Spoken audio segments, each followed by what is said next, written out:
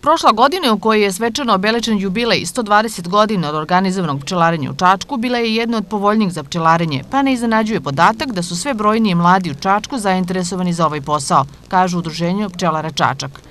Ove godine nastavljaju se aktivnosti predviđene četvorogodišnjim planom udruženja od 2014. do 2017. godine, obučavanje mladih i osposobljavanje za samostalno bavljanje pčelarstvom, organizovanje predavanja, izložbi i posete sajmovima, kao i udruživanje svih pčelara Čačka u jednu organizaciju, kako bi jedinstvenim nastupom bolje plasirali svoje proizvode.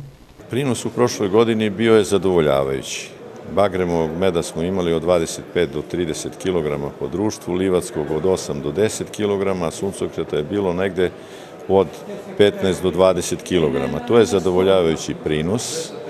Med sa našeg područja je izuzetno kvaliteta i zbog toga mi imamo zainteresovano otkupljivače i velike količine meda sa teritorije našega grada su otkupljene i isplaćene i pčelari su zadovoljni. Na dnevnom redu godišnje skupštine razmatranje izveštaja rada udruženju proteklih godini, kao i program rada u 2016. godini. Iskusni pčelar Radoslav Stepanović Stepo iz Rače Kragujevačke održao je predavanje o zimskom i prolećnom razvoju pčelenjeg društva. Ova zima je bila prilično nezgodno da kažem za zimovanje, jer su često varirale temperature. To je pčelama, to, to nije povoljno za zimovanje pčela, jer su imali povećanu potrošnju hrane, a takođe i e, pčele su bile često ovaj, priđene da izleću, što skraćuje život zimskim pčelama.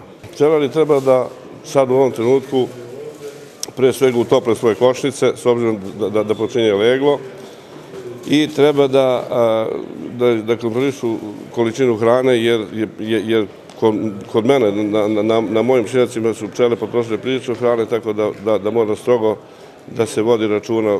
Pre i nakon Skupštine pčelara organizovana je razmena voska i prodaja satnih osnova, kao i pčelarskog pribora i alata.